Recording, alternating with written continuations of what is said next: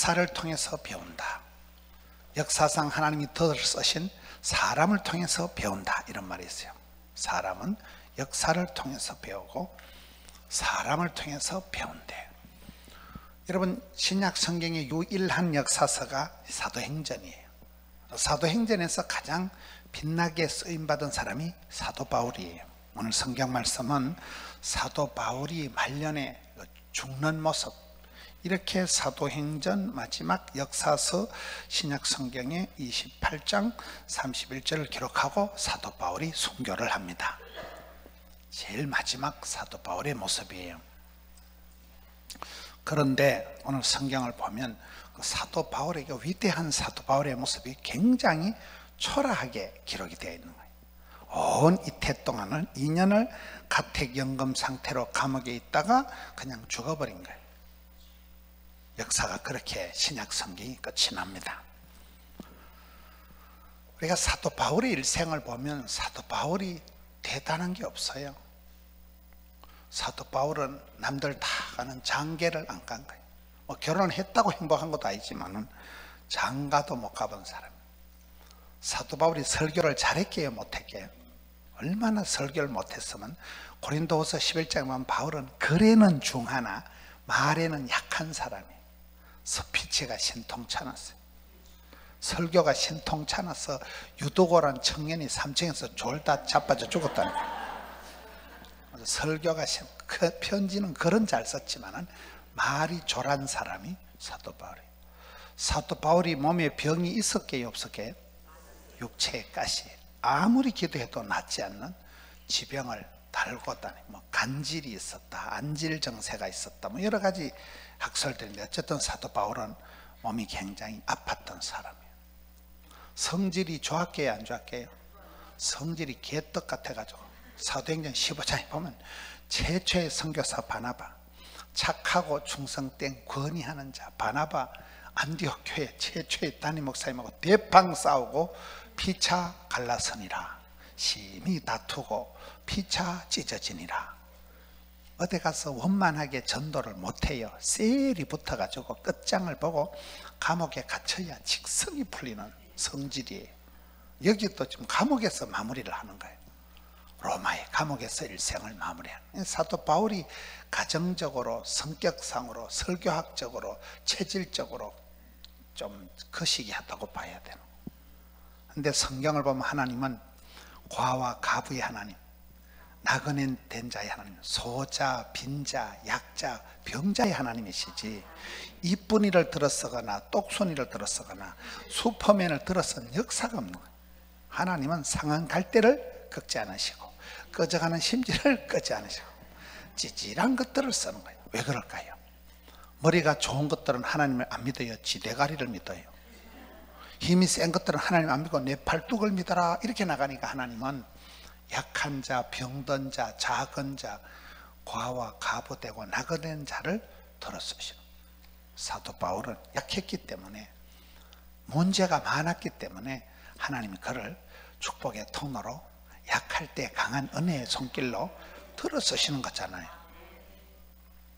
참 우리가 긴 역사를 볼 때 재밌는 것은 여러분 자녀들이 그저 순적하게 형통하게 살기를 바라면 안 돼요. 온실 안에 하초처럼 자라면 애가 쉴 데가 없는 거예요.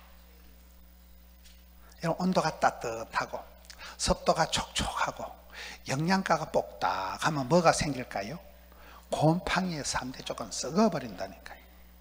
약간 똥줄이 땡기고 약간 살은 반을 걸어가듯이 위기가 고통이 환란이 풍파가 많아야 그게 뭐가 되는 거예요. 야생마가 준마가 되는. 비바람을 상풍을 맞고 난 뒤에 그때 그 나무가 단단한 벼락 맞은 나무가 썰모가 있는 거예요. 사람이 그런 거예요. 여러분 여기 사도 바울이 순적하게 형통하게 원만하게 그의 길을 걸어간 적이 없어요. 성경을 사도행전을 보면 맨날 두드리 맞고 맨날 감옥 갇히고 맨날 쫓겨다니고 유대인들이 시기하고 죽이려고 하고 사도 바울을 죽이려고 아주 작정을 한 사람들이 있어요. 사도 바울이 사선을 넘어서 계속 쫓겨다니고 피난 다니고 감옥 갇히고 그런 세월이 사도 바울의 일생이지 박수갈채 받고 표창장 받고 후원금 받아가면서 그런 게 거의 없더라고요 여기 사도 바울이 로마를 어떻게 왔습니까? 네, 걸어서 로마까지 갈 거다 사도 바울이 그래서 걸어서 로마까지 간 적이 없어요 사도 바울이 사도행전 20장 좀 가서 보면 이제 나는 성령에 매어서 예루살렘으로 간다 이거 내일 저녁에 할 설교인데 사도 바울이 예루살렘으로 가서 박수 받고 표창장 받은 적이 없어요. 결박과 환란이 나를 기다린다 하나. 그 길로 가서 체포가 돼가지고 그 길로 가서 로마로 압송이 되는 거예요. 배에 실려가지고 로마로 끌려가는데 요 바로 앞에 사도행전 마지막 28장 16절을 봅시다. 우리가 로마에 들어가니 바울에게는 자기를 지키는 군인이 따로 있게 허락하였더라. 바울이 로마에 갈 때 KTX 타고 비행기 타고 선교하러 간 거 아니에요. 붙잡혀가지고 체포가 돼가지고 재판을 받다가 감옥에 갇혀서 로마로 압송이 된 거예요. 배에 실려가지고 호송이 된 게 로마로 가서도 로마에서 군인이 지키고 있는 거예요. 그렇게 군인이 지키고 있는 연금, 가택 연금 상태로 2년을 꼬박 감옥에 있다가 죽어버린 거예요. 거기 사도 바울의 일생의 끝입니다. 여러분 우리가 요셉이를 잘 아는데 야곱의 축복의 당사자 요셉이가 쉽게 무슨 대학을 가고 대학원을 가고 그런 적이 없어요. 인생 종합대학 고생학과를 입학하고부터 누명을 덮어쓰고 인신매매를 당하고 감옥에 갇히고 별거를 다 겪고 난 뒤에 요셉이가 총리가 됐기 때문에 리다십이 일찍이 조직의 썸맛을 보고 리다십이 만들어진 거잖아요. 다니엘이 무슨 형편이 환경이 배경이 스펙이 좋은 거 전혀 아니. 이스라엘 나라가 쫄딱 망하고 예루살렘 성전이 홀라당 불타고 집구석은 풍비박산이 나서 부모님이 돌아가셨는지 살아계시는지 알 바가 없는 거예요. 다니엘이 어린 나이에 10대에 철사줄에 두 손 꽁꽁 묶여서 미아리고기에 끌려갔다니까요. 몰라요. 바벨론 포로 수용소로 끌려간 게 다니엘이요. 거기서 또 뭐 대우받고 이런 게 아니에요. 기도하면 체포가 돼가지고 감옥에 들어갈 걸 알고도 하나님께 기도하다가 체포가 돼가지고 감옥에 들어가고 여러분 성경을 보면 요셉이가 다니엘이가 바울이가 순적하게 형통하게 인생길을 걸어간 적이 없더라고요. 여러분 우리가 인생이 원만하게 순적하게 살아가게 해달라고 기도할 필요가 없어요. 그러지 말고 주여 시험은 감당하게 해주시고 환란은 벗어나게 요렇게는 기도를 해야지. 시험은 형제들아 여러 가지 시험을 당하거든. 칼라파랗게 시리즈로 스트레이트로 시험이 온다니까요. 시험이 없기를 기도하지 말아면 시험을 감당할 힘을 달라고 기도해야 되는 거예요. 믿음에 쓰임받은 선배들을 볼 때 원만하게 순적하게 형통하게 살아간 사람은 아무도 없더만. 바울이 여기 로마에 tourist 같이 관광하러 간 거 아니에요. 저는 미국을 수십 년을 다니다가 이번에 깨달은 게 미국의 그 원조가 Puritan 청교도들이 유학을 하러 박사학위 받으러 그 간 게 아니더만 장사로 돈 벌러 간 게 아니더만 뭐하러 갔어요? 신앙의 자유를 찾아서 메이플라워 배를 타고 멀미해가면서 간 것들이 아메리카 합중국의 원조더만 자, 이번에 그 생각을 이번에 이번에 미국 가서 아 이것들이 돈 벌러 온 것들이 아니고 이것들이 공부하러 유학하러 온 것들이 아니고 신앙의 자유를 찾아서 왔다니까요. 그래서 믿음의 선배들은 실컷 예배 드리고 실컷 찬송 부르고 실컷 기도하는 게 목적이었지. 등 따시고 배부르고 그게 목적이 아니더라고요. 우리는 형통하고 잘 먹고 잘 사는 걸 기도 제목으로 주로 하는데 성경을 보아하니 아, 순적하고 형통한 게 복이 아니구나. 그런 걸 저주 같은 축복이라고 그래요. 등 따시고 배부르면 썩어버린다니까요. 고인물은 썩는 거예요. 우물 밖에 깨구리가 돼야 되고 가서 제자 삼아야 되고 우리 인생은 그런 인생이 돼야 되는데 여기에 사도 바울의 일생을 볼 때에 사도 바울이 요만하게 순정하게 복을 받아가지고 부자 되고 이런 게 전혀 아니라는 거예요. 사도 바울의 말로가 너무나 초라한 거예요. 집도 절도 없는 거예요. 무슨 토끼 같은 마누라가 있어요. 여우 같은 거시기가 있어요. 꼬불초는 아파트가 있어요. 뭐, 뭐, 연금 들어오는 게 있어요. 아무것도 없는 거예요. 집도 절도 처자식 아무것도 없는 상태로 혼자 질질 끌려가지고 로마까지 가서 군인이 보초를 서 있는 가택 연금 상태에 감옥에서 2년을 있다가 그대로 죽어버린 거예요. 그걸로 끝. 그게 사도행전의 마지막 부분을 오늘 보게 됩니다. 그런데 우리 하나님의 역사는 상술이 나무가 통째로 썰어뜨리고 자빠져도 하나님께서 남은 뿔 한 가지 그루터기에서부터 새 역사를 만들어 가신 하나님. 사막에 강을 내시고 바다 바닥에다가 신장로를 뚫는 분이 우리 하나님이시잖아요. 사도 바울은 이렇게 초라하게 죽어버립니다. 근데 우리가 알거니와 이렇게 초라하게 사도 바울이 감옥에서 죽어버렸는데 순교를 했는데 여러분 대로마 제국입니다. 이때 로마 제국이 극도로 부패를 해서 여러분 권력이 부패하고 타락하게 되면 온갖 음란과 태폐와 해가지고 기록에 하면 로마 시대는 황제들도 동성애를 하고 개판이야 그것들은.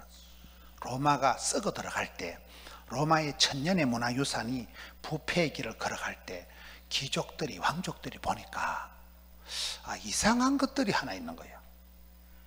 그 타락하고 음란하고 동성애가 있고 엉망진창인 로마 말기에 보니까 요상한 것들이 하나 있는데 그것들은 보니까 주로 전쟁 때 포로로 잡아온 것들이요. 그것들은 지하 감옥에 카타콤에 갇혀 있는 것들이요. 그것들이 뭐요? 크리찬돌. 그것들은 반듯한 거예요. 가장 순결하고 가장 지조가 있고 가장 마인드가 깜다고가 그래서 그, 그 지하 감옥에 갇혀 있는 포로로 끌고 왔던 것들을 가정교사를 삼고 그것들을 며느리를 삼고 그런 로마의 귀족들은 살아나는 거예요. 다시 로마가 그렇게 썩어갈 때 AD 313년에 이렇게 초라하게 끝장난 사도 바울이 전한 복음이 대로마 제국을 완전히 기독교화합니다. 할렐루야. 그 말을 하려고 얘기를 복잡하게 하는 거예요.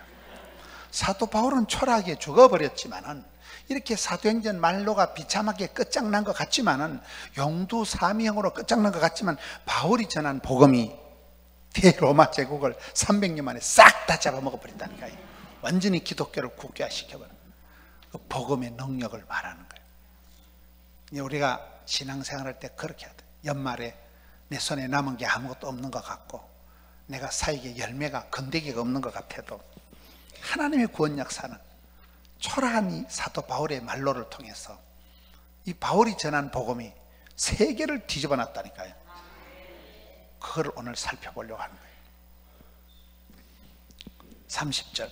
바울이 온 이태를 자기 셋집에 머물면서 이게 가택 연금 상태로 군인 아저씨가 지키고 있으면서 체포가 돼서 감옥에 있었지만 2년을 감옥에 있다가 여기서 순교를 하고 마는 거예요. 그러면 사람이 한 2년 정도 감옥 생활을 하면 어떻게 되겠어요? 바울이 온 이태를 자기 셋집에 머물러서 자기에게 오는 사람을 다 영접하고 이 부분이 좀 특이한 부분이에요. 여러분 사람이 오랫동안 고생을 하고 나면 악이 받치는 거예요. 사람이 원한 맺힌 사연이 있는 사람은 한풀이를 하게 되는 거예요. 우리는 한국 사, 한국 나라의 한국 대한민국의 정치가 안 좋은 게 보복 정치라는 거예요. 저는 그게 문제라고 봐요. 성경은 가르치기를 원수도 사랑하라고 가르쳐. 우리나라는 원수는 죽여버리는 거예요. 앞에 대통령 한 것들은 반드시 어디로 보내요? 감옥을 보낸다니까요. 그게 대한민국의 정치의 악순환이에요. 앞에 사람을 인정을 안 하는 거예요. 앞에 사람을 바보를 만들고 박근혜 미친년을 만들고 앞에 있는 대통령을 다 사기꾼을 만들어가지고 범죄자를 만들어서 감옥에 무조건 쳐넣습니다. 제가 예언하노니 다음에도 반드시 들어갈 것입니다. 이게 한국 정치의 후진성이라니까요. 보복을 왜 하냐? 보복을. 성경을 원수도 사랑하라고 해놨는데 너무 그냥 죽이고 없애버리고 지워버리고 이게 한국 정치가 후진성을 면치 못하는. 죽여버린다니까요. 근데 사도 바울은 2년 동안 감옥에 갇혀서 원한 맺힌 사연이 많았는데 자기에게 오는 사람을 다 welcome 이게 보통 스타일이 아니요. 이러면 사람이 상처가 많은 사람은 공격적이라니까요. 2년 동안 억압을 받고 자유도 없고 감옥에 갇혀 있고 이러면 사람이 악이 딱 받쳐버린다니까. 내 건들기만 해봐라. 내가 추록하기만 해봐라. 사람이 이렇게 한이 맺히기만 하는데 사도 바울은 감옥에 갇혀 있든지 감옥 밖에 있든지 새틀처럼 자유롭게 살아가는 거예요. 사도 바울의 마음이 전혀 마음의 거리낌이 원한이 억울하고 분노가 없는 거 분노가. 자기에게 오는 사람을 건드리지 마라이 성질을 건드리지 마라이 까칠 충만한 게 없다니까요. welcome 자기에게 오는 사람을 다 환영하고 영접한다 이게 사도 바울의 마음이 얼마나 부들부들하게 옥토와 같이 되었으면 이 사도 바울의 lifestyle을 특징적으로 얘기하는 게 31절의 마지막 절이에요 하나님의 나라를 전파하며 사도 바울이 정치 나부랭이 얘기 안 합니다 여러분 정권은 바뀌고 제국은 무너지는 거예요. 애굽 제국이 파라오 애굽 제국이 무너졌잖아요. 아수르 제국이 막강한 아수르 제국이 무너졌잖아요. 바벨론 제국이 접어졌잖아요. 페르시아 제국이 무너졌잖아요. 이때는 로마 시대요. 로마 제국이 무너졌어요, 안 무너졌어요? 여러분 세상의 정부는 정권은 정치는 세상의 제국은 무너지지만은 하나님의 나라는 영원합니다. 우리는 먼저 그의 나라와 그의 의를 구하는 사람들이에요. 정치 나부랭이 얘기할 필요가 없는 거죠. 왜? 정치는 대통령이 100명 바뀌어보세요. 꽃은 떨어지고, 잎은 마르고, 풀은 시들고, 열흘 붉은 꽃이었고, 10년간은 권력이었고, 30년간은 재벌이 없다 이랬잖아요. 우리는 뭐 재벌이 아니니까 잘 모르겠지만은,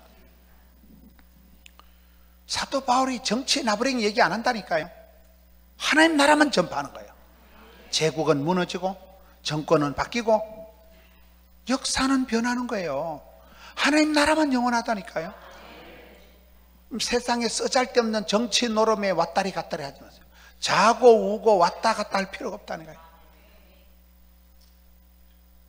저희 교회는 노무현 대통령 알아요? 노무현 대통령이 우리 동네 살아요. 우리 동네에서 국회의원이 떨어져 가지고 불쌍하다고 노사모, 노무현을 사랑하는 사람들이 만들어졌어요. 노사모 알아요? 저희 교회는 지금 자유당, 한나라당 국회의원이 저희 교회 집사예요. 내년 4월에 맞붙을 민주당, 민주당 위원장이 우리 교회 집사예요.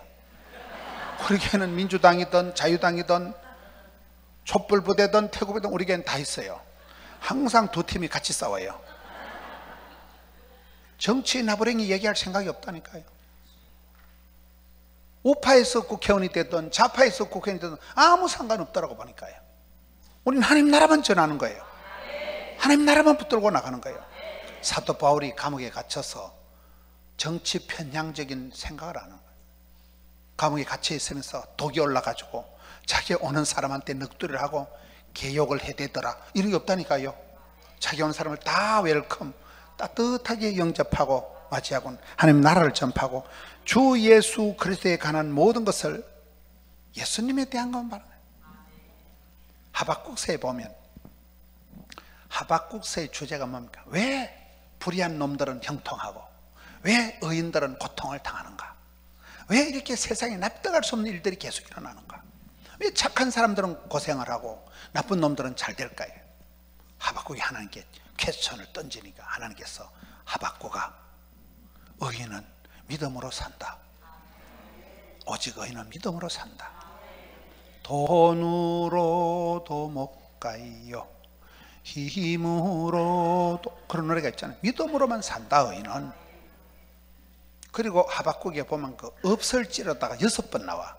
외양간에 송아지가 없을지라도 무화과 나무의 열매가 없을지라도 포도나무의 소출이 없을지라 없을지라 한 여섯 번 한데 없어도 날아가고 빵건하고 부도나고 쪽박을 차도 우리는 하나님 한 분만으로 만족하고 하나님 한 분만으로 절거하고. 할렐루야. 제가 결혼식 할 때 벌써 수십 년 세월 전이죠. 제가 가르치던 제자들이 축가를 부르는데 그것들이 주 예수보다 더 귀한 것은 그걸 부르 내가 저것들이 선곡을 결혼식 날 신랑 신부가 중요하고 좀 신랑 신부한테 포커스를 맞춰서 신랑이 좋고 신부가 좋고 이런 노래를 불러야지 뭐주 예수보다 귀한 것도 없고 다른 건 다 헛방이다. 너거 좀 노래를 좀 거시기 하다니 제가 선곡을 한 그 제자들 보고 너가 좀 너무 홀리하게 그런 식 축가를 그딴 식으로 불러서 되겠냐 제가 좀 뭐라 그랬어요? 너무 거룩하게 주 예수보다 귀한 것은 결혼식에 그런 노래 부르면 좀 부담되지? 결혼식에는 신랑이 예쁘고 신랑이 예쁘고 뭐 이런 노래를 좀 불러야 되잖아요. 세월이 흘렀던 것이었던 것입니다. 세월이 지금 수십 년 지나고 보니까 그 찬송이 진국이요. 아무리 생각해봐도 주 예수보다 더 귀한 분은 없네 할렐루야. 살아본 게 그게 진짜 백이더라고. 세상 다 헛되고 부족하고 그렇잖아요. 여기에 사도 바울이 감옥에 갇혀 있는 주제에 집도 절도 없는 주제에 아무것도 없는 주제에 하나님 나라를 전파하고 예수님에 대한 것만 전하는 거예요. 예수님만 자랑하는 거예요. 예수님만 얘기한다니까요. 그런데 그 스타일이 어떻게 해요? 눈물을 질질 흘리면서 서러움에 북받쳐 가지고 찌질하게 하더라. 이런 게 아니고 따라합시다. 담대하게. 거침없이. 이 말이 이해가 안 되는 거예요. 감옥에 갇혀 있는 주제 2년이나 찌질이 같이 있는 주제에 아무런 내놓을 카드가 없는 주제에 뭘 담대하고 거침할 게 뭐가 있을까니? 근데 사도 바울이 도무지 담대하게 거침없이 그쭉 나가버리는 거예요. 사람은 attitude가 자세가 중요합니다 따라다. 기도는 자격이 아니고 자세이다 목사라고 기도가 잘 되고 장로라고 기도가 응답되는 거 아니에요. 중심을 보신 하나님 앞에 엎드리고 금식을 선포하고 눈물을 질질 흘리가면서 하나님 앞에 부러지질 때 그때 응답을 하시는 거예요. 하나님은 중심을 보시고 기도는 자세가 중요하다니까요. 자격을 가지고 기도하는 거 아니에요 목사라고 뭐 기도가 직방으로 응답되고 잡사라고 안 되고 이런 게 아니라니까요. 여기에 사도 바울의 라이프 스타일이 문제라는 거예요. 담대하게 거침없이라는 이 스타일이 어떻게 이럴 수가 있을까? 이 초라한 노사도가 초라하게 죽어가는 이 노사도가 감옥에 갇혀있는 재수 주제에 집도 절도 없는 사나이가 어디서 이런 배짱이 나오냐? 어디서 이런 카리스마가 나오냐? 저는 오늘 이 말씀을 통해서 성도의 이 lifestyle은 성도의 독특한 캐릭터가 이 카리스마가 있어야 되는 거예요. 다섯 가지가 있다고 봐요. 따라합시다. 기쁨이가 샘솟듯 은사를 불 일듯 독수리가 날개침같이 새벽이슬 같이 사슴의 발같이 저는 그 한 다섯 가지가 크리스찬들이 살아가는 attitude의 어떤 그 싸가지 쏘가지 스타일의 특징이 돼야 된다고 보는데 그것의 특징은 전부 다 같이예요 같이 새벽이슬은 아닌데 새벽이슬 같이 불이 붙은 건 아닌데 은사를 불이 붙은 듯이 불일 듯. 기, 샘이 솟는 아닌데 기쁨이가 샘이 솟아나듯이 퐁퐁 기쁨이가 샘솟듯이 독소리는 아닌데 독소리가 날개치는 것 같이 이게 다 이게 성도들의 삶의 독특한 특징이라는 거예요. 첫째가 뭐라고요? 기쁨이가 샘솟듯 하는 거예요. 여러분 사도 바울이 감옥에서 기록한 옥중서신 빌립보스의 키워드가 기쁨이에요. 감옥에 갇혀있는 주제에 나와 같이 기뻐해라. 성도의 특징은 기쁨이라니까요. 얼굴이 우거지상같이 해가지고 피죽도 못 얻으면 시어머니 같이 해가지고 쌍심지를 눈에 길이가지고 핏대를 돋가가지고 그러면 안 돼요 이렇게 서마일 웃는 사람이 좋아요 성질 내는 사람이 좋아요? 여러분 어디 갔든지 성도는 얼굴이 이력서고 얼굴이 전도지라고 얼굴이 포가 나야 돼. 마트에 가도 아우 아줌마는 교회 보다 이래야지. 아우 저 미친년 같이 해가지고. 아우 저거 지옥에서 출장 온 마귀 할멈 같이 생겨봐가지고 안 된다니까 그러면요 얼굴이 원래 얼 스피릿이 어리, 꼴, 꼬라질 이런 걸 얼굴이라 하는 거예요. 마흔 살이 지나면 자기 얼굴에 자기가 책임을 성도의 얼굴은 기쁨이가 샘솟듯해야 된다니까요. 과목에 갇혀 있는 주제예요. 사방으로 옥에 쌓여도 새털처럼 자유롭게 살아간 사람이 바울이라니까요. 누가 막으려 누가 끊으려.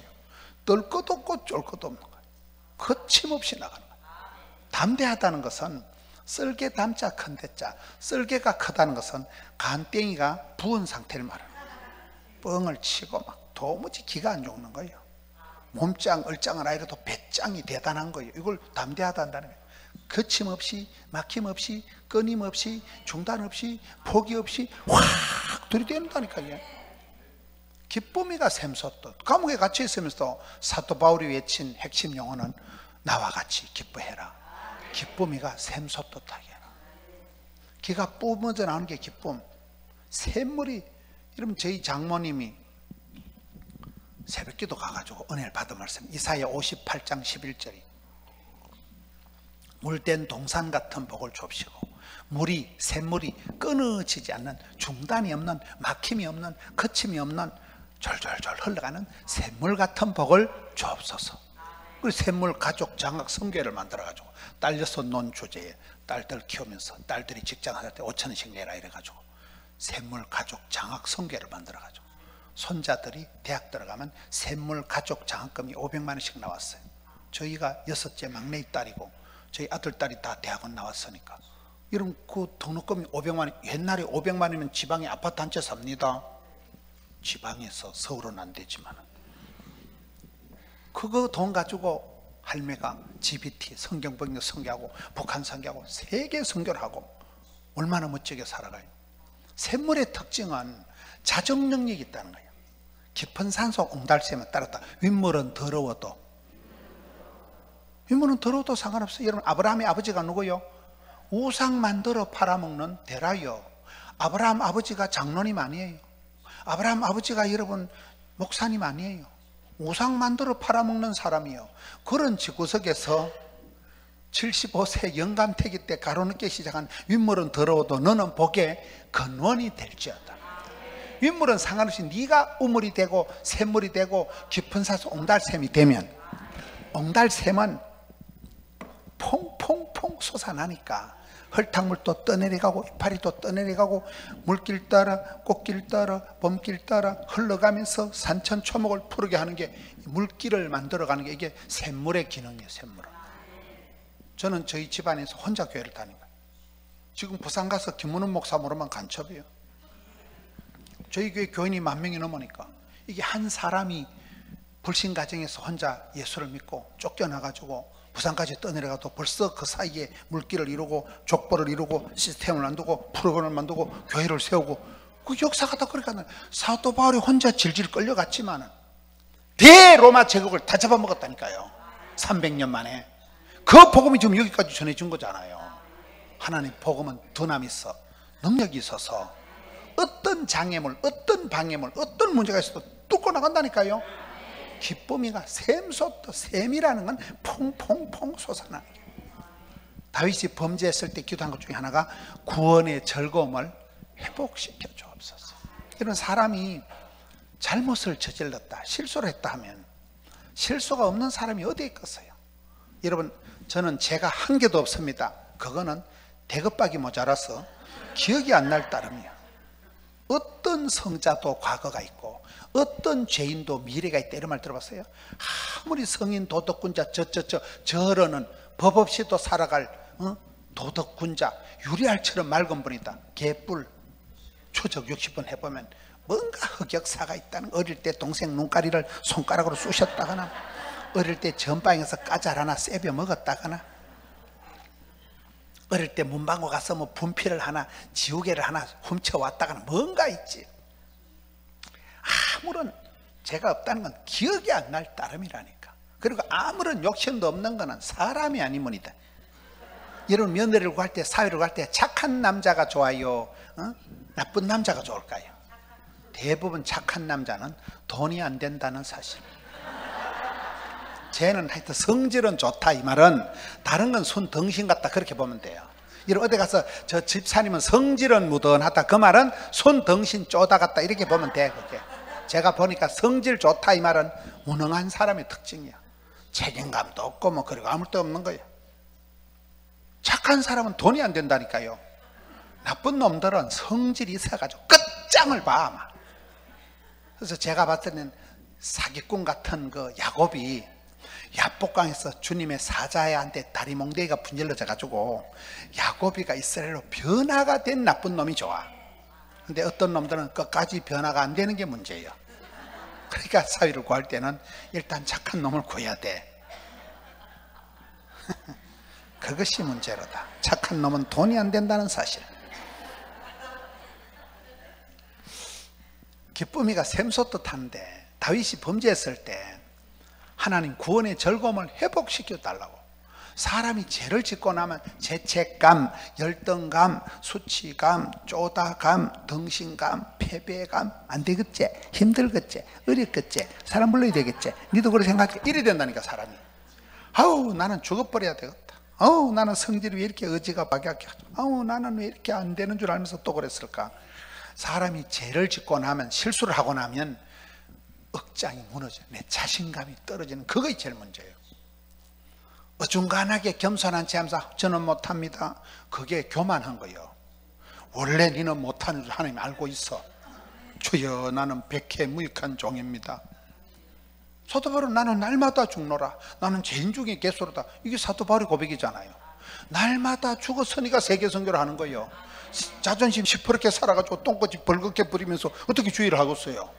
맞아요, 안 맞아요? 아사 교회생, 아생 교회사, 필사적 생, 필생적 사 그런 게 있어요. 자존심 시퍼렇게 튕기면서 어떻게 주의를 하겠어요? 자기를 부인하고 자기 십자가를 걸머쥐고 주를 따라가는 게 주의 길인데 다윗이 범죄하고 났을 때 나는 인간이 왜 이 모양일까?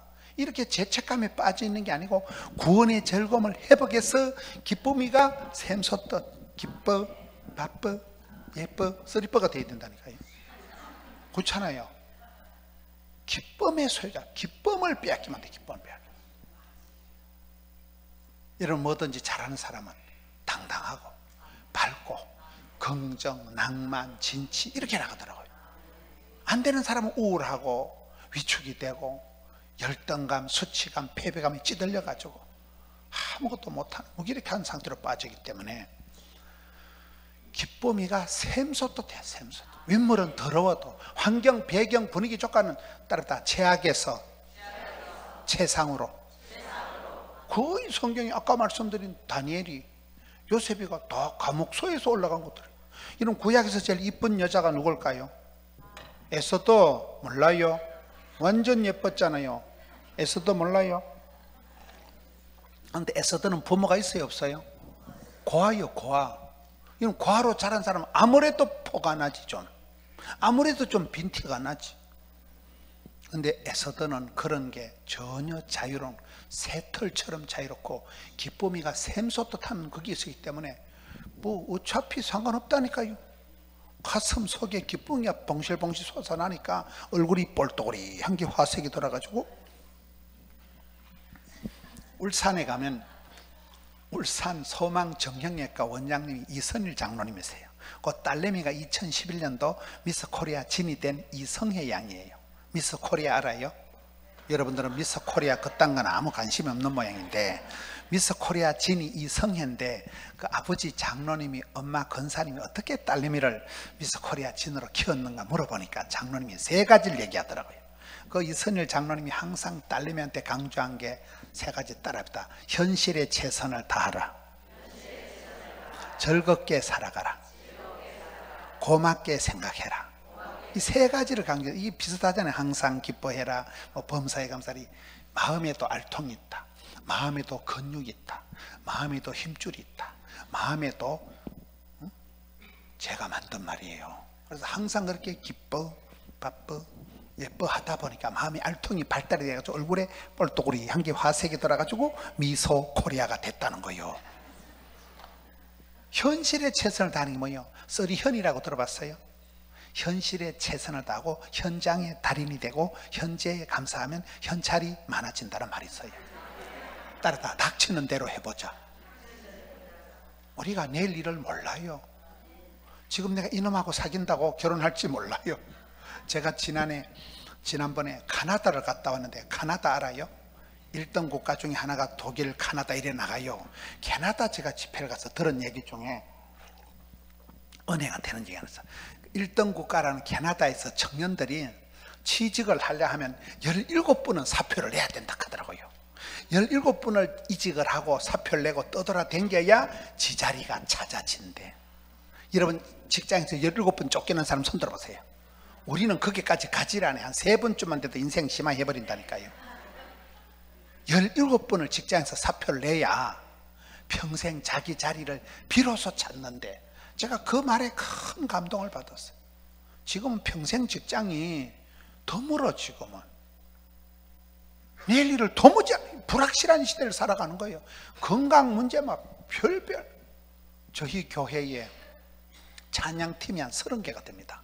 찬양 대여만 천명인데 오늘 수요일 저녁에 찬양팀을 인도하는 게 마라나타 찬양인데 그 찬양 인도하는 분이 안수 집사님이 오늘 아침에 쓰러져 가지고 심근 경색이 와 가지고 병원에 실려 가 가지고 그 뭐 심장에 뭐 스텐스를 박았대.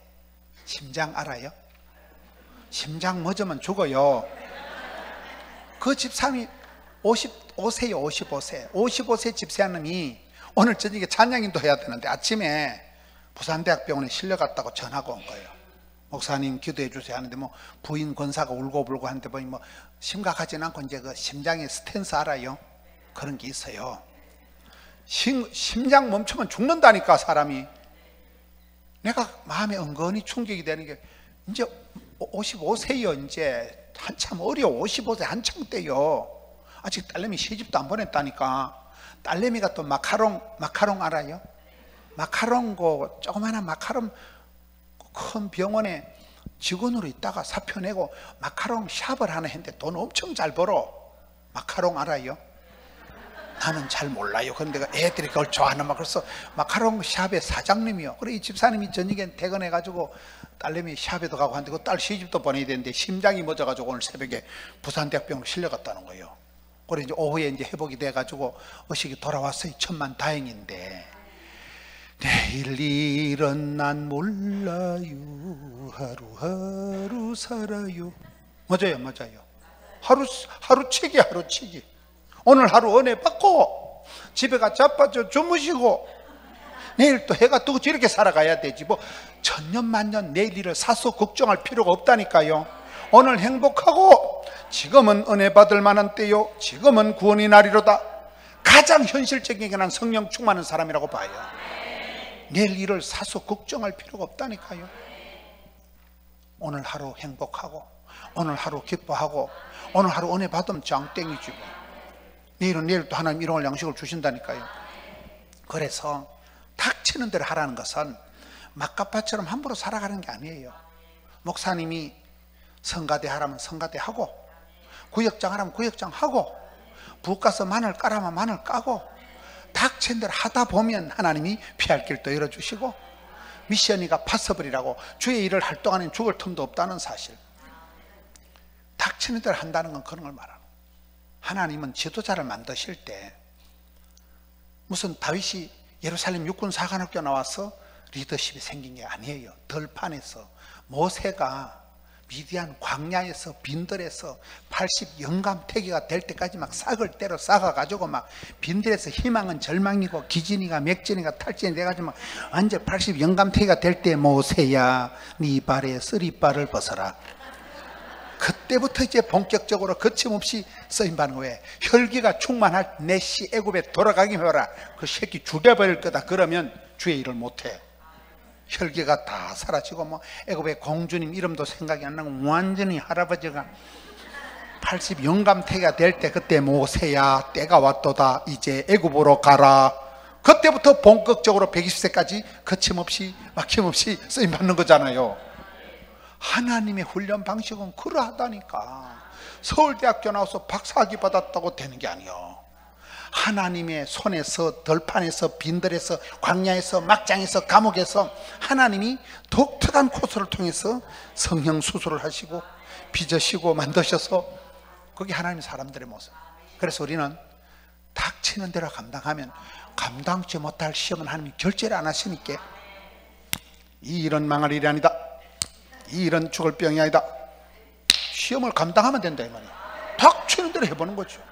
무슨 일을 닥쳐도 이건 하나님이 결제한 거예요, 결제. 결제 안 한 건 나한테 안 와. 시험은 감당하면 되는 거예요. 그때 항치가 형성되는 거예요. 그때 명령이 생기는 거예요. 현실에 최선을 다해라. 닥친 대로 두 번째가 뭐요? 즐겁게 하라는 거예요. 계란도 지가 깨고 나오는 게 병아리, 넘이 깨는 게 후라이. 억지로 뭐 기도원에 가자고 억지로 끄다는 보리자루같이 오실 필요 없어요. 여러분 좋은 일을 하세요. 저는 운동을 하나도 안 하는데 제가 한 가지 건강의 비결은 먹고 싶은 거 먹어. 제가 얼마 전에 환갑이 지났는데 제 환갑 잔치상의 메뉴가 뭔지 아세요? 라면 두 봉다리 삶아 먹고 콜라 실컷 마시고 평소에 집사람이 먹지 말라고 지랄하는 게 있어요. 라면 먹지 마라, 콜라 처먹지 마라. 집사람이 지랄하는 게 그날은 자유. 제가 환갑날 저녁에 라면 실컷 먹고 콜라 실 저는 빵도 이렇게 뭐 야채나 이런 거 싫어하고 도나스 있죠 도나스 기름이 바짝 튀긴 거 이런 거만 좋아해 주로 뭐 그러니까 그거를 집사람이 맨날 먹지 말고 지랄하다. 생일날 환갑날에는 마음대로 먹는 날. 그 기쁨을 아시나요? 뭔 말을 하고 싶어 가면 제 제가 의과대학 간호대학 교목 출신이에요. 의사 간호사를 10년을 가르친 사람인데 제가 나름대로 생각하는 개똥 철학은 뭐냐? 먹고 싶은 거 땡기는 거 많이 잡수면 돼. 제가 대수술을 몇 판을 하고 아파트 한 채 수술비를 말아먹은 인간이요. 제가 의사 간호사를 10년을 가르친 사람이라니까요. 근데 제가 경험해 보건데 옛날에는 예를 들면 수술할 때 닭고기 먹지 마라. 닭고기 먹으면 뭐가 와요? 풍이 온다는 말이죠. 풍 알아요? 바람풍. 중풍 걸려, 중풍 걸려. 돼지고기, 돼지고기면 화농성 있다. 골마, 고름이 생겨. 여러분은 다 좋은 가정에서 훌륭한 가문에서 그 아주 좋은 의학 정보에서 자란 가 본데 우리는 어릴 때 그 된장 찍어 바르고 이런 수준이기 때문에 그때 들은 개똥 철학이 수술하고 이럴 때는 닭고기 먹으면 풍이 오기 쉽고 돼지고기 먹으면 골마서 고름이 생기기 쉬우니까. 근데 지금은 의학요법이 달라. 땡기는 거 실컷 잡수고 원기를 톡 까서 병을 이기는 게 장땡이요. 제가 하는 말이라니까요.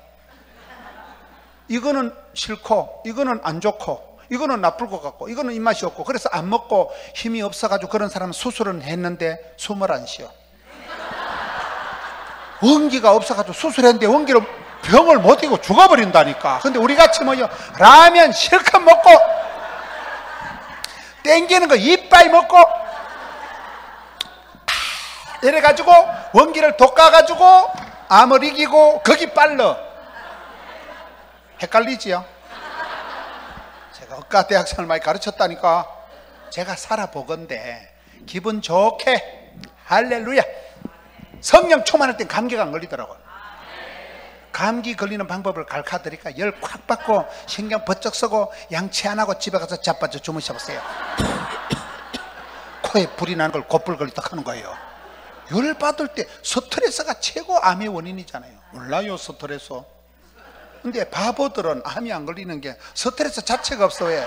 뭐 뭐라 했더면 할렐루야 항상 기뻐하잖아 바보니까 이런 잔머리 굴리다 병 걸리는 나서 약간 띵하게 오래오래 사는 게 낫겠어요.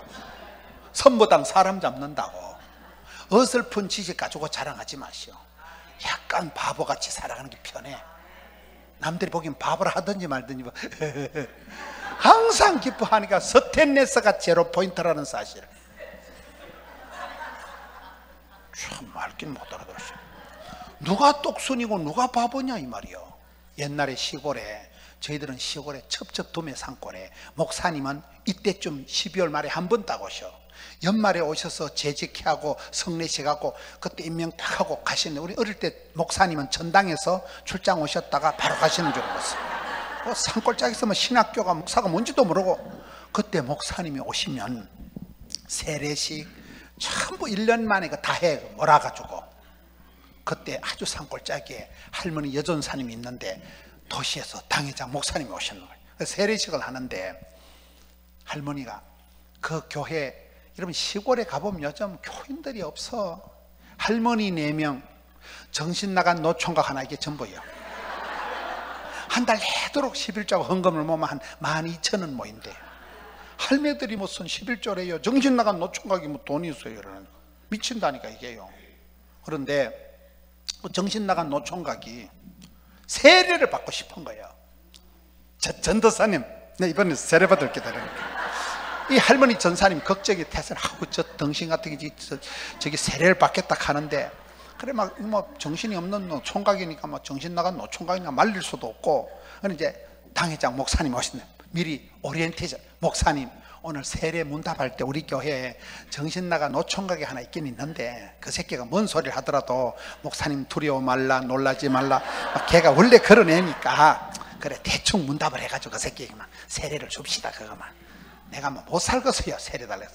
그래 이제 담임 목사님이 오리엔테이션을 다 받고는 이제 문답을 하는 거예요. 이래 버리니까 총각이 춤을 잘리고 이래가 있으니까. 야 너 예수님이 누군지 알아? 그러니까 총각이 목사가 돼가지고 그것도 모르면서 목사님이 등골에 식은땀이 나더래. 그러면 그 바보 총각이 예수님 누군지 알아요 몰라요? 예수님 알았다니까 그 바보 총각 목사가 예수님을 쇠빼기 보고 정신 나간 노총각이라고 무시하다가 덩골에 식은땀이 나서 시급했다 하더라고요. 그 주간이 고난주간이었어요? 우리가 긴 세월 살다 보면 누가 똑순이냐 이 말이요. 선무당 사람 어중간한 지식 가지고 알랑방구 끼다가 교만 피우다가 지옥 가는 것들이 얼마나 많겠어요 바보가 홀 행복하다는 사실 바보는 서텐내서가 없다는 사실 바보는 암이 안 걸린다는 사실. 잘 나가다 설교 이상하게 나가 이선일 장로님 세 가지. 딸내미 첫째는 뭐요? 채, 현실에 최선을 다해라. 두 번째는 뭐요? 즐겁게 구원의 감격을 회복해서 기쁨이 샘솟하려면 세 번째는 고맙게 다 생각하기 나름이요. 맞아요 안 맞아요 뭐든지 고맙게 생각하는 거예요. 저도 이렇게 목회도 해보고 건축도 해보고 하니까 여러분 예배당 세 판 지어보세요. 600억짜리 예배당 지어보세요. 똥줄이 땡기지. 근데 지나보니까 뭐 잔머리 굴려가지고 사업수단 발휘해가지고 되는 건 한 개도 없더만. 만 가지 은혜를 받아야 되는 거예요. 해외를 다녀보면 별별 사건이 다 있습니다 저는 의사들 간호사들 데리고 의료 선교를 세 개를 다녔습니다. 별별 사건이 다 있는 거예요. 뭐 비행기가 뭐 안 뜨고 뭐, 뭐 별별 사건이 다 있어 여권 잊어먹은 애들도 있고 뭐 그런 사건 사고를 지나면서 항상 느낀 게 거기 계신 하나님 앞서 행하신 하나님 만나 선교제 우리가 가면 개고생을 하고 와도 거기서 현장에 벌떡거리는 하나님을 만나기 때문에 선교제에 가서 고생하고 와도 다 사람들이 은혜 받는 거예요. 제가 미국에 한번 갔다 오는데 제가 영어를 잘 못합니다. 저는 순수 국산이에요. 유학파가 아니에요. 비행기를 타고 오는데 영어로 방송이 자꾸 나오는 거예요. 저는 영어를 못 알아들으니까 편안하게 자빠졌어요. 집사람은 영어를 잘 알아들으니까 큰일 났대. 영어 방송이 엔진에 파이어에 서먹어에 비행기 엔진에 불이 붙어 연기 난다. 그 말이요 나는 못 알아들으니까 단잠을 잤는데 집사람은 큰일 났대 여러분 탄 비행기가 태평양 한가운데서 비행기 엔진에 연기 나면 좋아요 안 좋아요? 제가 그날 돌아와가지고 결혼식 줄이하고 새끼줄이 제가 새끼줄이 10분 단위로 빼곡하게 잡아놨는데 새끼줄이고 나발이고 장례식 치르게 생겼다니까요. 태평양 한가운데서 비행기 엔진이 연기가 푹푹 나는데 비행기에 뛰어내리기를 하고 서요. 정거장이 있어요. 얼굴이 노래가지고 집사람은 뭐 사색이 돼 있는 거예요 나는 그냥 잤어요 잤는데 비행기가 일본의 삿포로 공항에 불시착을 하더라고요 삿포로라고 들어봤어요 일본 지도가 바나나 같이 이렇게 길게 생겼는데 제일 홋카이도 북쪽에 거기 삿포로 공항이라고 있어요. 그 비행기가 불시착을 한 거예요. 한국으로 와야 될 게. 그라도 불시착을 했어요. 망정이지. 그때 태평양 바다 꼬르륵 했으면 이번에 강사 고 김은원 목사 일이 나온다니까 이게요. 이 사람이 한 방에 훅 가겠더만 생각하기 나름이라니까. 그리고 일본에 내렸는데 뭐이뭐 제가 일본 말은 아지노모토, 다마네기, 시다바리, 따까리 이런 거밖에 몰라요 제가. 근데 뭐 솔짓 발짓을 해가지고 하나대 공항 갔다가 인천공항 갔다가 한국으로 무사히 넘어온 거예요. 뭔 얘기를 복잡하게 하는가 하면 다 지나고 보니까 하나님 은혜요. 만 가지가 아니면 은혜라니까요. 범사에 감사해라. 고맙게 생각해 봅니다. 살아있는 거 감사하고. 그렇잖아요. 전 지금도 어디서 집회해 달라는 전화가 안 오면 내가 유통기한이 다 됐는가? 우울증이 재발할 것 같더니 불러주면 감사하고 살아있는 거 감사하고. 이 강단에 아무나 서는 거 아니에요. 저는 항상 바쁠 때 진도가 팍팍 나간다. 힘들 때 힘줄이 불끈 생긴다. 스트레스가 양념이다.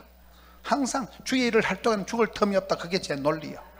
쓰임받고 부름받고 사랑받고 축복받고 그때가 호시절로 생각하는 거예요 제가 이 뒤돌아보건데 건축한다고 날밤을 새우고 여러분 600억짜리 공사를 벌리면 하루 저녁에 레미콘 차가 400대가 들어옵니다. 여러분 400대 레미콘 차가 들이닥치면 거의 전쟁난 수준에 막 동네가 흔들려도 지축이 흔들린다니까요. 동네 주민들이 진정을 하고 민원을 하고 난리도 아니에요. 별별 사건이 다 있습니다. 그런 과정들을 지나보니까 건축할 때 제일 제가 건강검진할 틈도 없이 건강했고 그때 제일 교회가 부흥됐고 그렇더라고 보니까요. 그래서 저는 논리가 바쁠 때 진도가 팍팍 나간다. 바쁘다, 힘들다, 피곤하다, 죽겠다 그딴 소리 하는 거 아니에요. 예수 믿는 사람은 바빠가지고 미꾸라지 소금 뿌리기처럼 바닥 끓이고 살아가야 돈이 되지 얼음판에 잡혀진 송아지처럼 눈가리만 껌뻑거리면 돈이 안 됩니다. 바쁜 걸 감사하게 생각하세요. 불러주고 쓰임받고 그때가 호시절이라니까요. 세 가지. 기쁨이가 샘솟듯하게 하는 기쁨을 구원의 감격을 빼앗기지 마세요. 가정에 썸물이 흘러가지 않도록 하세요. 구원의 감격이 기쁨이가 샘솟듯 내게 강 같은 평화 바다 같은 사랑 물결이 사랑의 물결이 강같이 샘같이 바다같이 흘러가야 되지 우거지상을 해가지고 초상끝까지 해가지고 그러지 말아야 말이에요 성도의 가장 큰 특징은 사도 바울은 감옥에 갇혀 있으면서도 나와 같이 기뻐해라. 기쁨이가 샘솟듯 하게 하라. 두 번째 따르다. 은사를 부릴 듯하게 하라. 불이 붙은 건 아닌데 은사를 부린 듯부터 하라는 거예요. 이런 장작개비를 태울 때 한 개를 쌓아놓고 타는 게 잘 될까요? 수북하게 쌓아놓으면 잘 탈까요? 양에서 질이 나온다고 양질 총량의 법칙이 있더라고요. 지랄 총량의 법칙이 있어요. 양질 총량의 법칙이 뭐냐? 기도에 눈물이 쌓이고 고이면 어느 순간에 가서 양이 질이 된다는 거예요. 하나님요 나의 눈물을 주의 병에 채우소서. 10편 56편에 다윗이 기도할 때 여러분 전당함 눈물병이 다 있어요. 아직 응답이 안 된 분들은 눈물병이 덜 차서 그래. 오늘 밤에 내일까지 끝까지 은혜가 안 되거나 손가락으로 눈가를 쑤셔버리세요. 양에서 질이 나온다니까요. 전도의 양을 채우고 기도의 분량을 채워놓으면 어느 순간에 가면 양이 질이 되는 거예요. 또나 개나 찬밥, 더운밥 안 가리고 하다 보면 가뭄에 콩다듯이 들어 좋은 게 나와. 원리가 그래요. 너무 이렇게 골라 잡아가지고 이렇게 하는 건 아니에요. 닥치는 대로 해보는 거예요. 하다 보면 엄마야 이거 완전 내 스타일 이런 게 나오고 어떤 거는 전공을 하고 박사기를 받아도 아우 내 못하겠다 그런 거 안 하는 게 나. 억지로 하면 병 난다니까 이게요. 재밌게 신나게 하는 사람은 아무도 못 이기는 거예요. 다시 기쁨이가 샘솟듯 은사를 부렸다 이 말은 이 디모데가 약해 빠진 디모데가 사도 바울이 안수기도 하면서 안수할 때 은사가 불이 붙어가는데 불이 붙은 것처럼 된다는 거예요. 이열치열이라고 여러분 그럴 때는 문제가 없어요. 신앙생활은 은혜 위에 은혜를 이열치열 이렇게 흘러가는 거예요. 힘이 들기 때문에 성령 충만, 은혜 충만 받으면 사탄 마귀를 대적할 수 있는 거예요. 은사를 부릴 듯하게 해라. 심령의 불씨를 꺼트리지 마라 이 말이에요. 성장, 발동, 엔진, 시동을 꺼지지 않도록 하라. 계속 국가시 넣고 계속 발동을 시동을 기름 부어가지고 주여 주여 이게 은사를 부릴 듯하게 한 번 엔진이 꺼지면 여러분 몸이 식으면 암이 자란다는 사실 세 번째 따르다 청춘을 독수리 날개침 같이 하라 이사야 40장 보세요 너는 알지 못하느냐? 야고바 너는 듣지 못하느냐? 네가 믿는 하나님은 천지 만물을 창조하시고 한 개도 안 피곤하시다.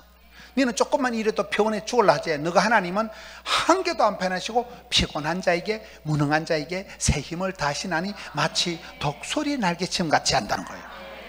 독소리는 평지에 집을 짓질 않습니다.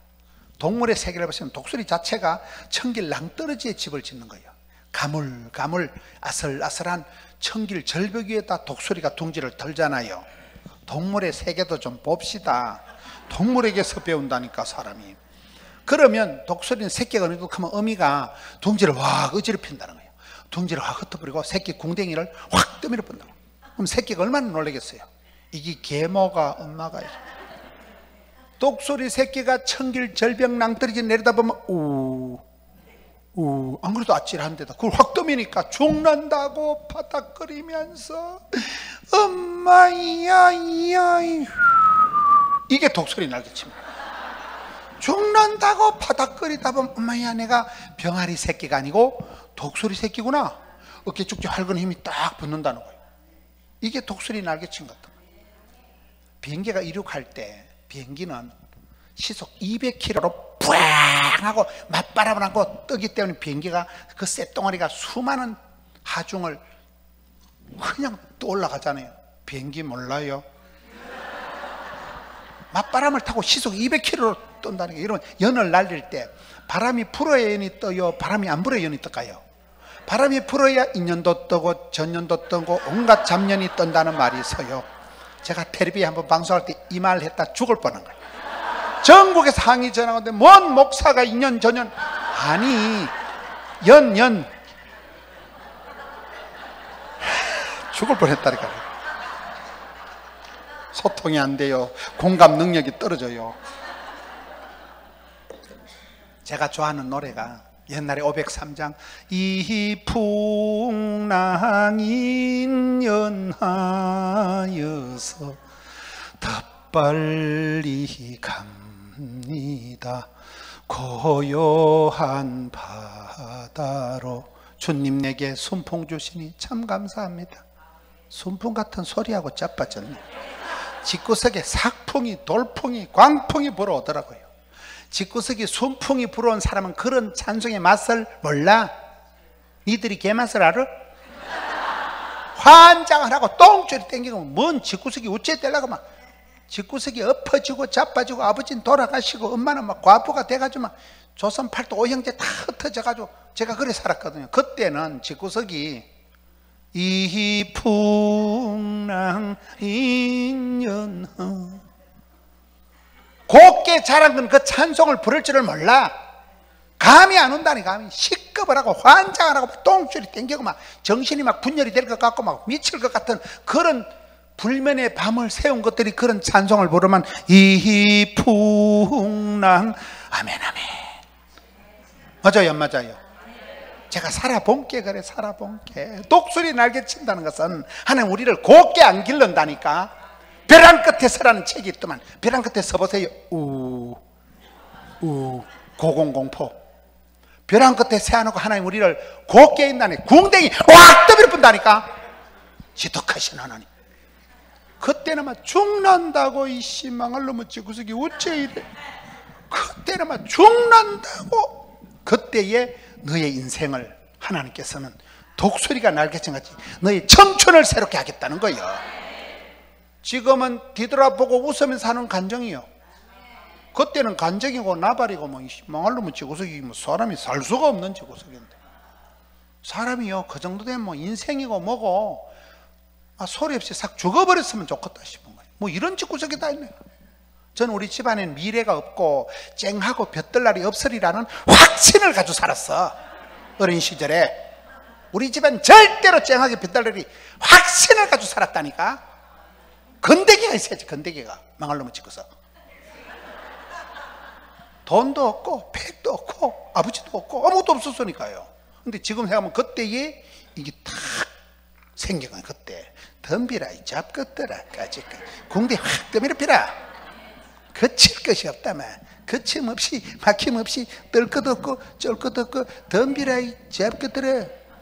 그때가 그리 생긴 그때가 믿음이 좋았어가 아니에요. 살랐고 리바이벌이 중요한 게 아니고 서바이벌이 중요하다 이런 말이 있어요. 살아남는 게 그때는 하루하루 살아가는 게 기적이야. 다시 따라합니다. 기쁨이가 샘솟듯 은사를 부릴듯 청춘을 독수리 날개침같이 두 개가 남았어요. 하나는 하박국이 보면 너의 발을 사슴의 발같이 높은 데로 인도하신다는 거예요. 한동대학교 지난 여름에 돌아가신 김영길 장로님이라고 들어보셨어요? 한동대학교 총장님을 18년 하신 분이에요. 그분이 칼스터 교수할 때 세계 100대 과학자 중에 한 분이 김영길 장로님이라고 계세요. 그분이 칼스터 교수를 하고 있는데 서울에서 박사님, 교수님, 장로님 소리 듣고 평안하게 잘 살았죠. 한동대학교에서 와서 김 박사님, 우리 한동대학교 총장을 좀 맡아주세요. 그래가지고 안 갑니다. 그 산골에 지진 나는데 포항 한 방에 거절했죠. 그러니까 저쪽에서 하는 말이 장로가 돼가지고 기도도 안 해보고 어찌 쉽게 그래 노하노? 아 맞다 내가 장로지 그래가지고 그래 기도를 일주일 해보고 답을 해줘. 그래 장로님이 일주일 기도해보니까 가고 싶더래. 그래 갔잖아요. 가자마자 부도났잖아요. 감옥 갇혔잖아요. 감옥에 갇히니까 부인이 김영애 건사님이요. 건사님 볼 때 뭐 이런 일이 다 있노? 아, 서울에서 그냥 김 박사님 사모님 소리 듣고 곱게 곱게 강남 스타일로 잘 살았는데 괜히 기도해가지고 괜히 응답받아가지고 괜히 포항 가가지고 뭔 일이요? 신랑은 감옥에 처박혀 있고 그때 하나님 들려주신 레마의 말씀이 사랑하는 딸아 너의 하나님은 너의 발모가지를 사슴의 발같이 높은 곳으로 인도하신다 고공비양 고공비양 해댐도 악함도 높은 곳으로 너의 발을 높은 곳을 인도하는 그 말씀을 붙들고 김영애 건사님이 응답을 받고 그 불같은 시험을 이기고 참 존경받는 총장님이 되셨어요. 몰라요. 김영애 건사님 김영길 그분 어머니가 안동분인데 아주 훌륭한 어머니가 아들들을 큰아들은 김호길 박사라고 옛날에 포항공대 학장님을 하시고 호길이 영길이 다 아주 그 집안에 그 어머니가 훌륭하셨다 그래 어머니 건사님이 아주 훌륭하게 아들들을 잘 키웠어요 신앙생활은 선두 그룹을 잘 유지해야 된다. 이런 마라톤을 할 때 보면 마라톤 알아요?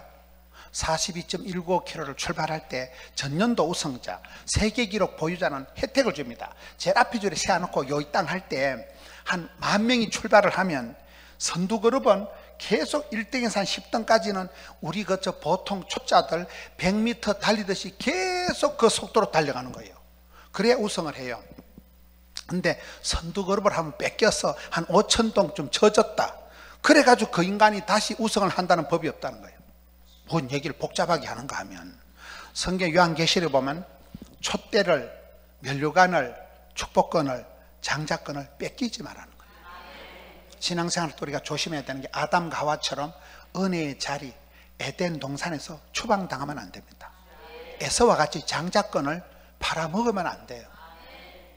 다윗이 범죄했을 때 성신을 하나님 거두어 가시면 큰일 나기 때문에 촛대를 연류관을 축복권을 장자권을 주님 다시 오실 때까지 무조건 나가라니까요. 그게 선두 그룹을 유지하라는 거예요. 여러분 장남이다, 장녀다, 집사다, 권사다, 장로다. 그만큼 여러분이 책임이 있는 거예요. 무거운 책임이 있는 거예요. 그걸 오히려 축복으로 생각하셔야 돼. 괜히 내가 장로 직분 받아가지고, 괜히 내가 권사돼가지고. 그게 아니에요. 하나님은 여러분에게 가장, 가정의 제사장이면 그만큼 부담을 주시지만 부담이 축복인 줄 아세요. 하나님 주신 그 부담을 붙잡고 나가면 그 부담이 나를 밤에 잠을 못 자게 하고 그것이 나를 오히려 끌고 간다니까요. 그것이 미션이 되고 부담이 사명이 되고 미션이가 파서블. 주의 일을 할 동안은 죽을 틈이 없다니까요. 엄청 부담을 느끼고 하지만은 너의 발을 사슴의 발같이 높은 곳으로 고공비행을 시킨다. 천박하게 땅만 쳐다보고 돌아간다고 500원짜리 동순 다섯 개를 주고서요, 두 개를 주겠어요. 눈을 들어 주를 바라보라. 마지막으로 따랐다. 새벽 이슬 같은 청년. 여러분 교회 일을 해보면 늘 일꾼이 부족한 거예요.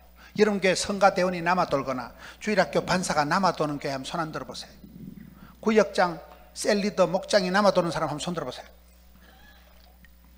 어디라도 사람이 모자라. 그런데 목회를 해보니까 이가 없으면 잇몸이 한다고. 새벽이슬 같은 청년은 뭔가 하면 이스라엘 땅에 날이 가뭄이니까 이게 일교차가 심하잖아요. 그러면 새벽에 일어나면 물방울이 땡글땡글 이슬이 맺혀 있는 거예요. 사람이 그렇게 되더라고요.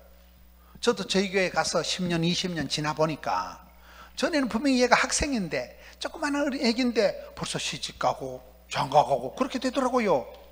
어느 날 보면 그 아이가 교사가 되고 성가대 솔리스트가 되고 거기 하나님 나라는 그렇게 된다는 거예요. 너무 여러분 차세대 지도자를 걱정하지 마세요. 독수리 온기를 통해서 하나님이 다 하십니다. 너무 지도자를 걱정할 필요 없다니까요. 저는 포동계 후임자를 요만큼도 걱정 안 합니다. 하나님이 책임지시고 하나님이. 내가 뭐 내 마음에 든 사람 안 차놓으면 그게 문제요. 그게 세습이 되든 그게 문제가 되죠. 안 그래요? 난 관심 없다니까요. 왜? 저도 그렇게 자랐거든. 누가 저보고 저기 목사나 되겠나? 저희 집안에는 남자들이 40대가 되면 다 죽었어요. 저희 집안에 대가리 길이 허연 사람 저밖에 없어요. 저희 집에는 할아버지, 아버지, 형님 40살쯤 되면 남자들이 다 죽는 집안이에요. 저희 집안은. 저 노후 대책을 한 번도 세본 왜 노, 우리는 70까지 살았다. 큰 가문의 영광이요. 저희 집안이 그런 집안이요. 저는 부산에 한 사람이 한 명도 없어요. 저희 집안에 교회 다는 사람이 아무도 없었어요. 저를 위해서 기도해 준 사람이 한 명도 없습니다. 제가 맨땅에 헤딩하서 부산까지 떠느라 하다 본게 일이 되더라고. 하다 본게 텔레비도 나오고 하다 본게 강사도 되고 하다 본게 담임 목사가 되더라고요. 아니 떠나게나 주님이 쓰시면 되는 기지 뭐. 언제 뭐 서울대학교 나왔다고 되고 언제 뭐뭐 뭐 체력이 국력이라고 되는 게 있는가? 나도 그렇게 호련히 주님이 쓰시니까 되더라 이 말이에요. 주님이 들어 쓰실 동안 누가 막아요 누가? 그래서 여러분 너무 자식 걱정하지 마세요. 아우 전년이 언제 시집 가가지고 언제 재혼해가지고 걱정하지 마세요. 다 알아서 합니다. 니나 잘하세요 니나. 너무 신랑 걱정. 우리 신랑은 언제 장로되고 니나 잘하세요 니나. 새벽에서 같은 청년이라는 것은 어느 날 호련히 하나님이 일꾼을 보내주시더라고요. 이가 없으면 잇몸이 해 잇몸이. 목회의 원리가 병든 자식이 효도한다. 못생긴 나무가 산을 지킨다. 병든 가지가 뭐 산을 지킨다. 병든 자식이 효도한다. 이런 말 들어봤어요? 똑똑한 자식은 나라에서 다 데려가고 돈 많은 자식은 장모가 데려가고 병든 자식만 엄마 몫이요 우리 교회는요 서울대학 가고 똑똑한 애들은 다 서울 가고 없어요. 우리 교회는 청년들이 서울대학 못 간 애들 취직 안 된 애들 취직 못간 애들이 성가대하고 다 해 우리 교회 애들. 근데 설교 때는 애들이 오이씨 우리 뭐요 뭐리 뭐요 이 잡것들아 하나님 우리를 그렇게 쓰신다니까요 언제 하나님이 이쁜이 쓰시고 언제 하나님이 똑손이 쓰시고 그런 거 없다니까요. 언제 예수님이 천당에 다리고 간다 천사들 집밥 갈멜산에 가서 돈 되는 것들만 데리고 온나 뚱뚱한 년들 데려가지 마라. 천당 꺼진다. 시끄러운 여자들 데려오지 마라. 천당 시끄럽다. 그런 거 없다니까요. 누구든지 예수 믿으면 주님이 쓰실 땐 새벽에설 같이 그분이 장로가 되고 그분이 목사가 되고 그렇더라고요. 너무 사람 걱정하는 게 아니에요. 하나님은 하나님의 때에 하나님이 사람을 들어 쓰십니다. 저는 저희 교회 후임에 대해서 손톱하고도 걱정 안 해요. 하나님 저도 그렇게 쓰셨듯이 하나님이 예비 겸비한 자가 호련히 나타나. 다윗이 뭐 예루살렘 육군 사관학교를 나왔어요. 베들레헴 유치원을 나왔어요. 덜판에 양치기 하다가 그냥 부름받고 쓰임받고. 하나님은 하나님 그렇게 덜판에서 빈들에서 모세를 광야 신학교 40서를 씌가지고 쓰신다니까요. 너무 여러분 사람을 골라 잡아서 인간적인 잣대를 가지고 사람을 선발하는 게 아니에요. 하나님이 쓰실 때는 하나님은 병든 자, 가난한 자, 고아와 가부와 나그네를 통해서 얼마든지 역사하셔. 할렐루야. 사도 바리 일생이 초라하게 끝나는 것 같지만 천만의 말씀. 바울이 전한 복음이 대로마 제국을 다 잡아먹고 300년 만에 기독교를 국교화 만들고 그 복음이 거침없이 담대히 흘러가듯이 여러분들께 한 해를 마무리하면서 초라한 내 인생의 자존심 이런 마음의 패배감, 열등감을 걷어치우세요. 담대하게 거침없이 기쁨이가 샘솟듯 쌀을 부릴 듯 다섯 가지 스타일을 세팅을 해서 승리하시는 여러분 되시기를 축원합니다.